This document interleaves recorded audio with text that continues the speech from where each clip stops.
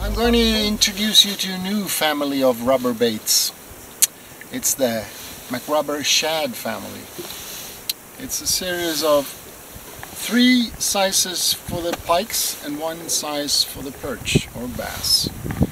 The pike sizes are 29 centimeters and 23 centimeters and 17 centimeters.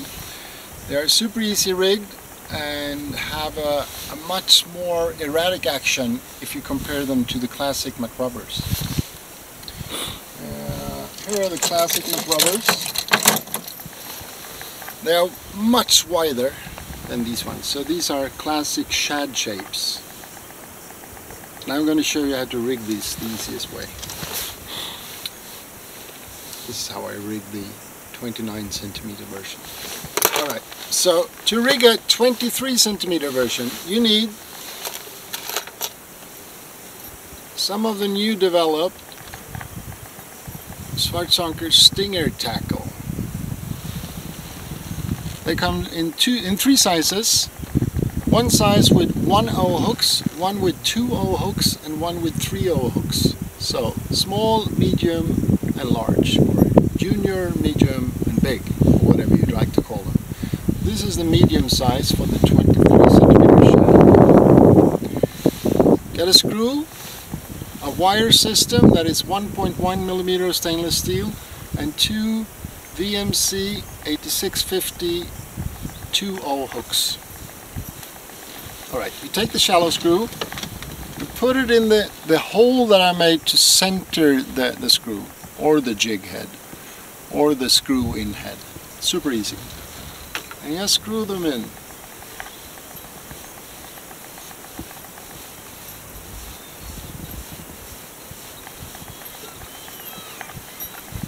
Can you hear the birds? It's so lovely in the springtime in the Swedish archipelago. Mmm, pikesh. Alright. And you have the stingers. Whoops. The spike droop, and boom. You got a pike rig that's is very durable, very good, and it holds up really good. And when you rig the bait like this, it's very important that you have it in the straight line underneath. Otherwise, the bait will wander really weird or accurate, not so accurate. With this kind of rigging you will have it very accurate. Okay, and then we have another thing that we developed.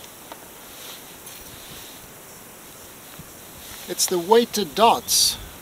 It's sink weights and they come from one and a half gram, three grams, four grams, six grams, and 10 grams.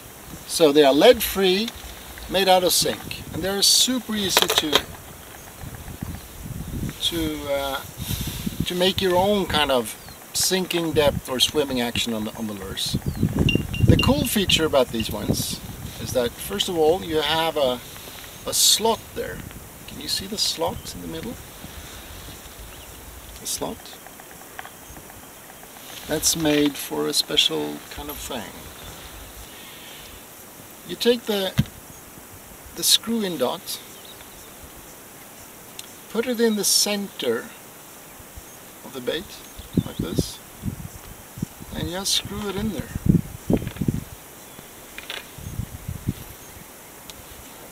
I mean, you can put them anywhere, but I think the center is a good place because then it gives a little bit more swimming action to the bait.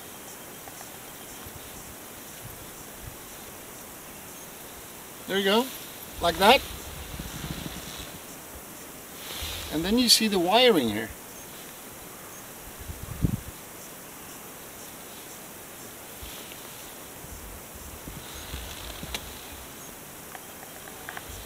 Super good, super easy. Like that. And here you got a Dunboldy pike hunting machine. okay, that was the McRubber Shad.